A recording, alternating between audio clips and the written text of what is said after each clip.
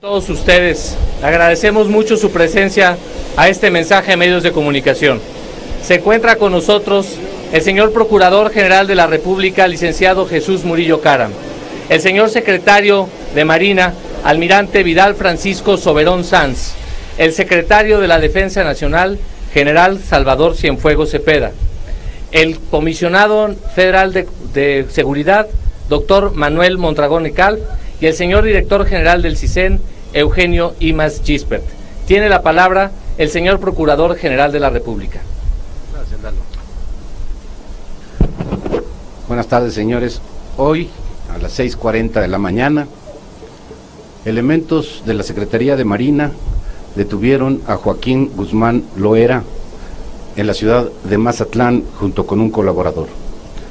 Hemos hecho esperar un poco a ustedes para esta conferencia, en razón de que preferimos tener una plena identificación y ya los peritos de la Procuraduría lo, hicieron, está identificado al 100%, ha sido revisado por los médicos y en un momento más será trasladado al penal que corresponda.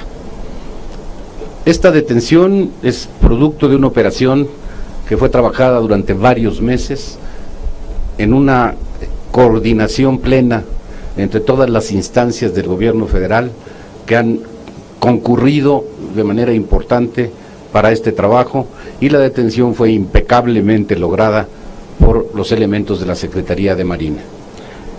Esta operación en, el último mes tuvo momentos más eh, definitivos para lograr la captura.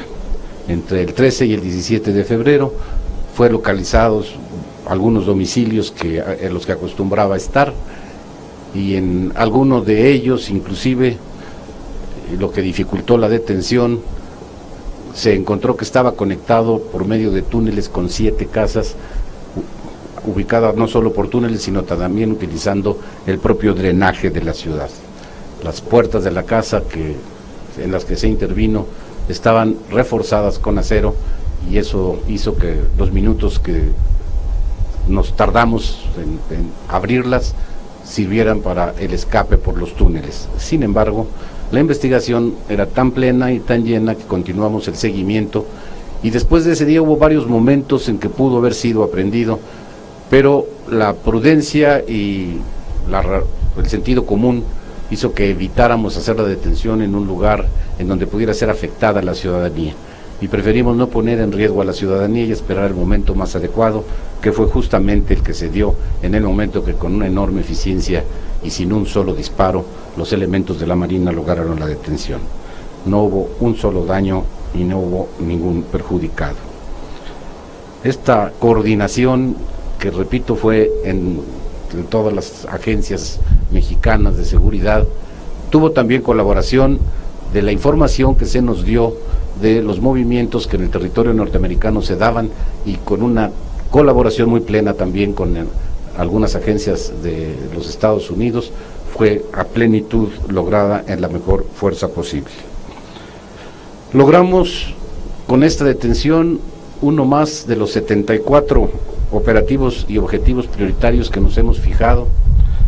Es decir, estos 74 ya fueron detenidos, más este serían 75 y seguiremos trabajando en todo el país para poder consolidar el esfuerzo para lograr la seguridad y la paz que los mexicanos estamos buscando para todos los mexicanos. Solamente quiero decirles que en razón de este simple operativo, de este puro operativo, hemos asegurado a 13, tenemos 13 detenidos, Aseguraron 97 armas largas, 36 armas cortas, dos lanzagranadas, un lanzacohetes, 43 vehículos, de los cuales 19 eran blindados, 16 casas y 4 ranchos hasta este momento.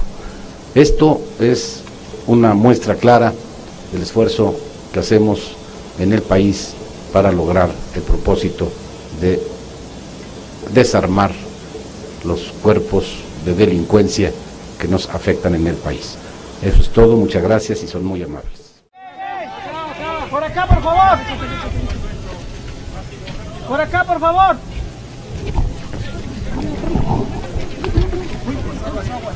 Aguas, calmado, güey. Tranquilo.